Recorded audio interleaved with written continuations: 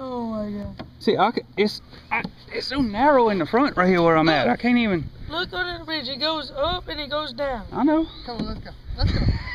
Let's go under the damn thing. All right, you ready? Yeah, we I'm not. ready. Lay your head back, Philip. We're going. Oh Shit. Oh shit. Hang on. But the side of the boat's hitting. I need to straighten the boat out. Give me a second. I'll pull it when you get it out there. But it won't go. and I done already got a cramp in my leg. All right, you ready? I'm gonna give us a push. Let's go. Duck your head, Phil. Duck your head. Oh, I'm walking. I'm trying to steer it straight. Just hang on. I'm hang coming on. out sideways. Just hang on. just so we come out. Just so we don't stay under it. All right.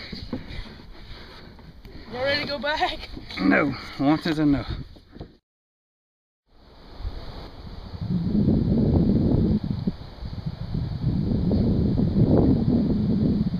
That water is high though, huh?